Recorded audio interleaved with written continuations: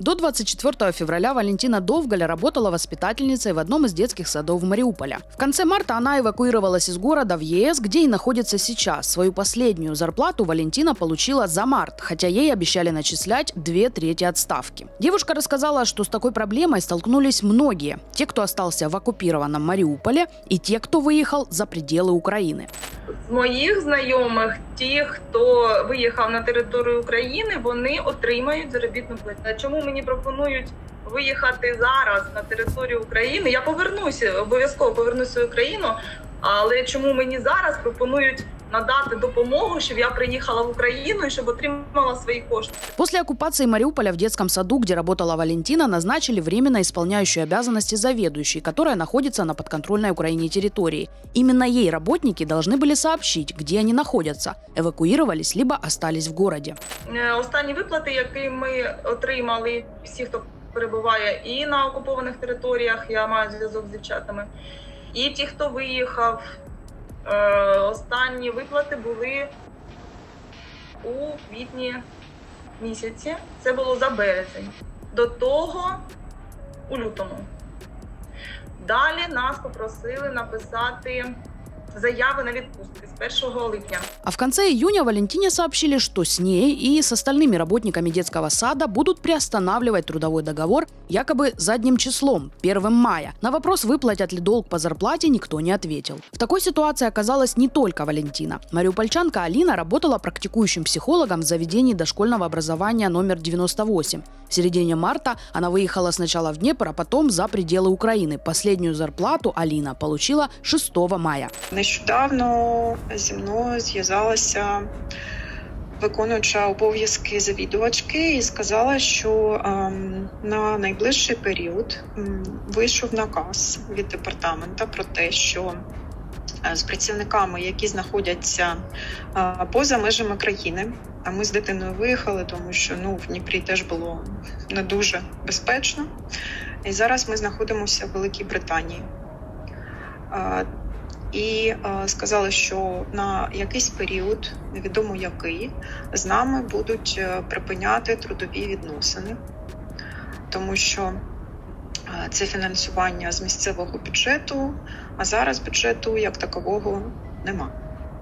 Алина написала заявление об увольнении, но долг ей не выплатили. Воспитатель в инклюзивной группе детского сада 118 и психолог Наталья рассказала, что ни документов о приостановке трудовых договоров, ни каких-либо приказов департамента она не видела. Ни приказов, ни законов нет. Я знаю сама лично, я занималась в детском саду написанием колл-договора. Когда мы писали колл-договор, принимали его всем садом, там было четко прописано, что сотруднику простой, в независящих от него обстоятельствах оплачивается по две трети. Местонахождение, где должен человек находиться в этот момент, момент простое, речь не шла вообще. Это образец приказа о приостановке трудового договора. В нем есть нюансы, которые стоят особого внимания. Договор якобы приостанавливают до момента, когда появится возможность выполнять работу или до отмены военного положения. Этот пункт выглядит логично, но все зарплатные начисления за время приостановки должна компенсировать страна-агрессор. Еще интересный момент. Трудовой договор приостанавливается с 1 мая. Но здесь Видим ссылку на приказ Департамента образования Мариупольского городского совета от 16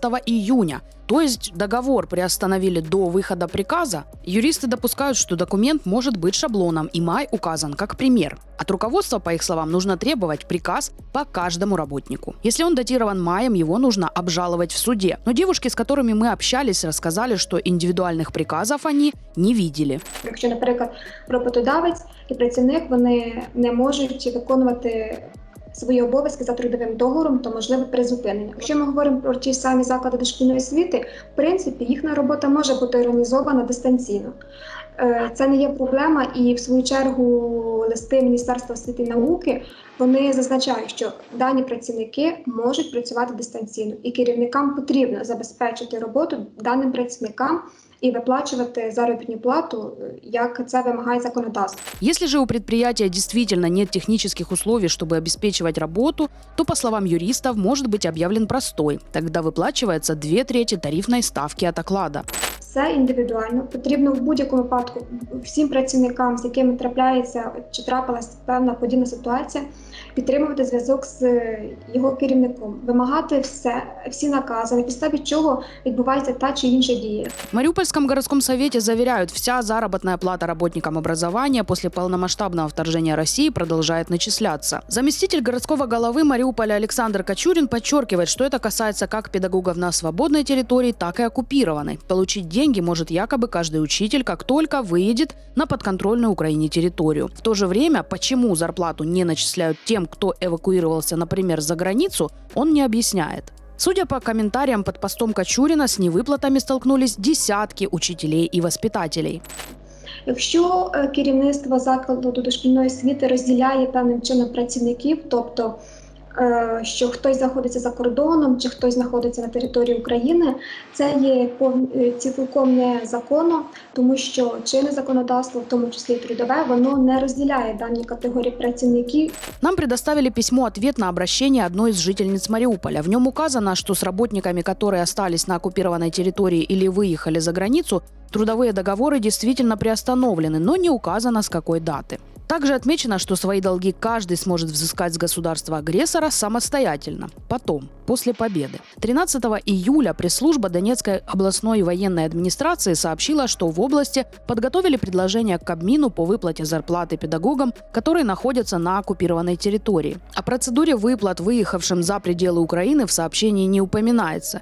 Из комментариев к посту ясно, что зарплаты не получают не только жители Мариуполя. С проблемами столкнулись и в Краматорске. Мы отправили запросы Донецкой военной администрации, департаментам образования, областному и городскому, но ни одно ведомство не ответило. В Мариупольском горсовете обещали дать разъяснение по поводу сложившейся ситуации, но так и не нашли времени. В Министерстве образования и науки подчеркивают, государство гарантирует выплату зарплаты всем, но это задача местных органов власти.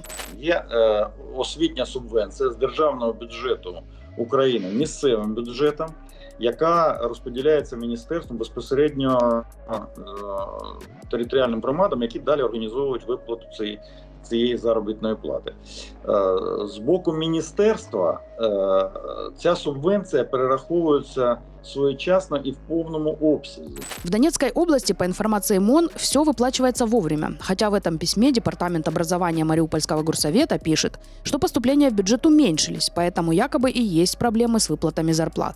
За нашу інформацію, те, що е, департамент освіти і науки Донецької обласної військової адміністрації зараз інформував, то для вчителів, які е, знаходяться на території, е, яка контролюється українською владою або виїхали за кордон, не існує проблем з виплатою заробітної. В Министерстве образования и науки советуют тем, кто столкнулся с долгами или проблемами с зарплатой, писать запросы непосредственно в МОН. В то же время выехавшие воспитатели из Мариуполя говорят, что уже обращались в горсовет и к образовательному омбудсмену, но результата пока нет.